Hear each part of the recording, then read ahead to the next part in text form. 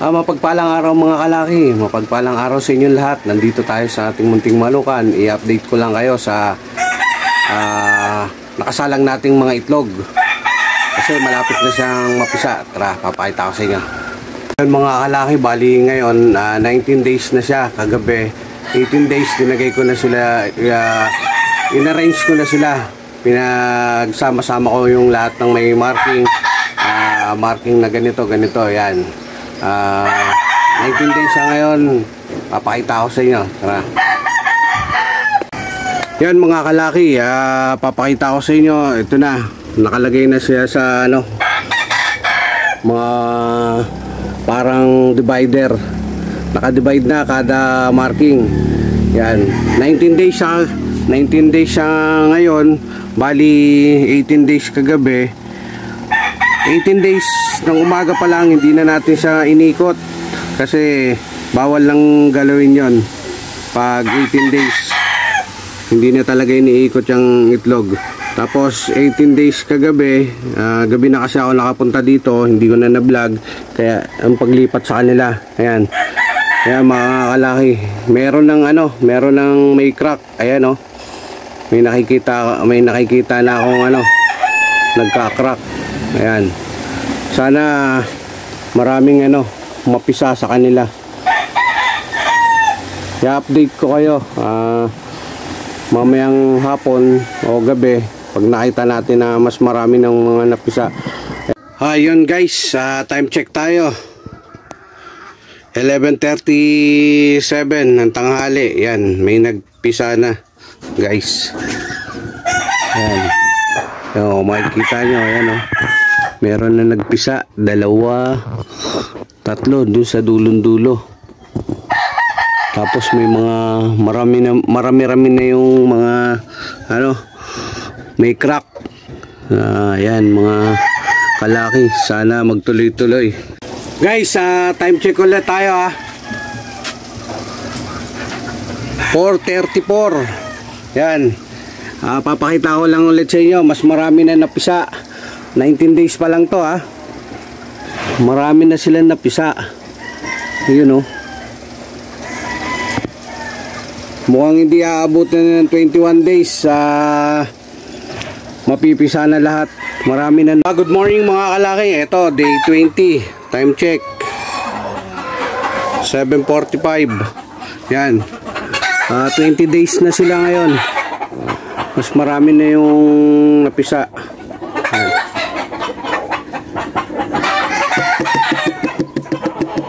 Yan.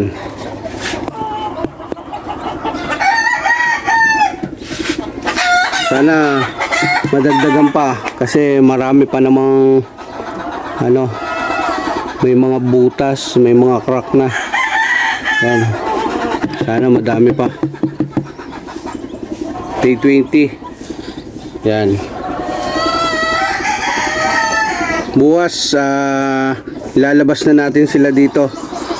May mapisaman o wala na, ilalabas na natin kasi kung sakasakaling yung iba uh, magkakrack pa lang, wala na yan. Mahinang, mahinang nila lang na sila. Kaya kailangan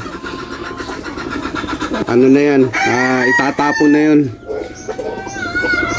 uh, day 21 dapat day 21 mapisa na lahat. Kaya lang kung magpipisa pa lang bukas wala na. Nahihina na. Kaya mga kalaki update lang. Marami rami na. Good morning mga kalaki. Eto na uh, day 21 na. Time check. 8.04 Day 21, 804. Ilalabas na natin yung mga sisiyo natin galing dito sa ano, sa incubator. Ayan. Ilalabas na natin para mamarkingan. Ayan. Kukunti lang yung napisa. Ah, Samahan nyo ako. Mamarkingan na natin. Ito na guys, uh, nailabas na natin sa incubator. Ito, halos lahat napisa. Ito din. Ito may tatlong napisa. Tapos dalawang hindi napisa. Eto, isa lang napisa guys. Ay, bali tatlo sana napisa dito. Ay, apat. Pang-apat sana siya. Kaya lang may mahina yung tatlo. Ah, namatay. Tapos ito, kumpleto. Pisa lahat. Lima. Ah, 2, 4, 5. Lima nga. Yan guys. Mamarkingan na natin sila. Ito, pure Lucky Gold. Ah, pumpkin 5k sweater na cross sa Boston. Ah, ito straight sweater. Golden Boy. Saka 5k sweater. Ito sana sa gray. Ito ay Tingnan natin marking nito.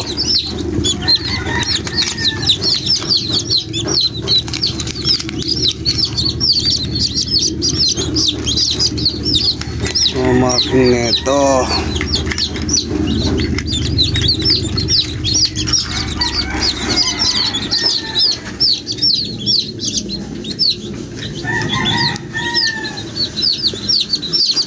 Pumpkin huts.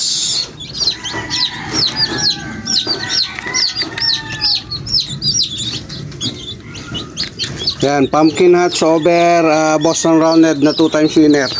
Yan. Kaya magmamarking na tayo, guys. Ang kailangan lang natin sa pagmamarking ito puncher puncher saka gunting na maliit tapos alcohol tapos record book yan sisimulan ko na guys. Ha, ang tabayanan nyo na.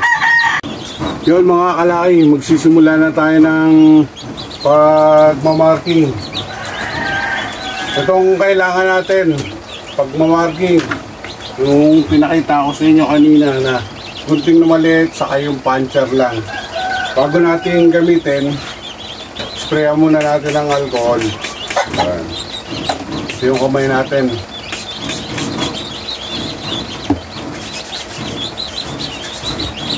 yan bali ito yung mga sisiyo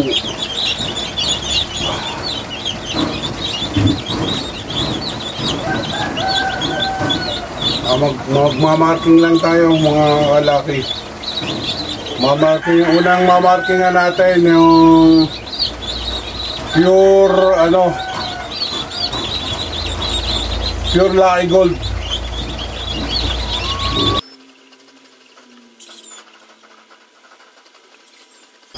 Mamarking ng pure ah, ano lang, ah, puncher. Bali ang itlog niya Natakapok ako lang yung mga Natakapok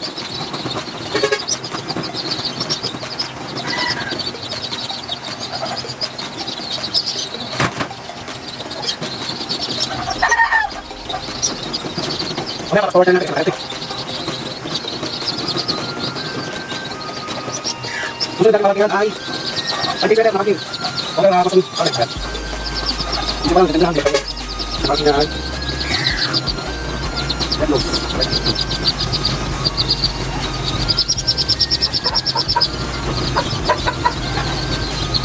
Ano ba natin? Tama siya. Ano? Ano ba ginagawa? Kaya mga kalaki, ah, ito na silang lahat. Ah, 224 lang ang napisa. Pero kahit pa paano okay na. Paunti-unti, makakadami din. Yan. Bago natin i ilagay dito sa kanilang kulungan dito ganito muna ginagawa ko mga kalaki yan papakita ko sa'yo yo mga kalaki eto na ang ginagawa ko bago natin ah, bago ko ilagay sa kulungan nila yan pinapainom ko muna ng ano ah, tubig na may asukal. Yan. I-dip nyo na para mapilitan silang ano. Yan. Mga dalawang dip lang mga kalaki. Isa-isa nyo silang bibigyan. Yan ganyan lang mga kalaki. Pwede rin naman na tiki-tiki kung kapalit ng asukal pero hindi pa ako nakabili ng tiki-tiki mga kalaki kaya ano muna asukal na pula.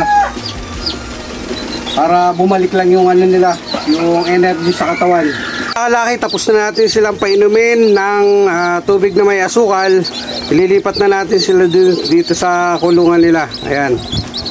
Pala mga kalaki yung mga magtatanong kung ano pinapatuka ko sa kanila sa ah, day old eto ah baby ah, booster. Baby stag booster ng Thunderbird saka GMP ng Thunderbird. Yan Thunderbird baka naman.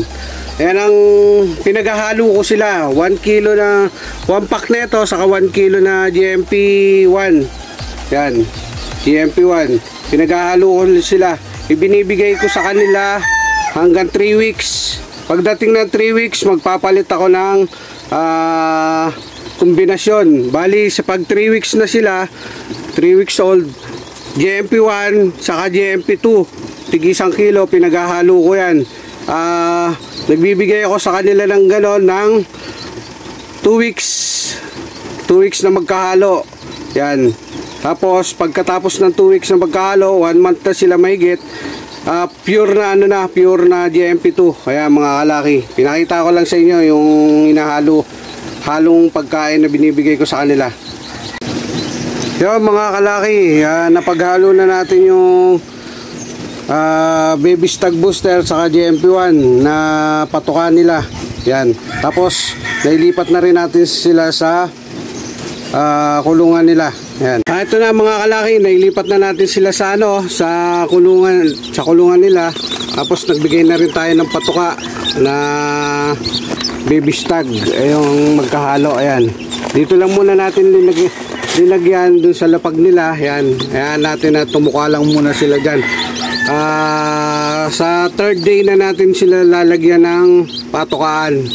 Dyan muna sila yan dito sa kulungan na to katulad nung katulad nung ginawa natin nung nakarang first batch hindi natin iilawan ulit sila ah Maghapon sila dito sa kulungan na to. Pagdating ng hapon, lalagay natin ulit sa box. Bali, doon na sila matutulog sa box. Tapos kinabukasan, lagay na ulit dito, balik ulit dito. Yon, ganun lang mga kalaki, hindi tayo ulit mag-iilaw. At para makatipid-tipid naman tayo.